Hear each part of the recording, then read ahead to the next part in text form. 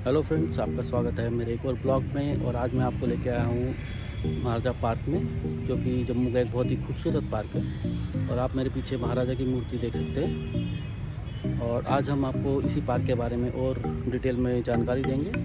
ये तवी रिवर के किनारे 40 कनाल एरिया में फैला हुआ एक बहुत ही मनमोहक पार्क है।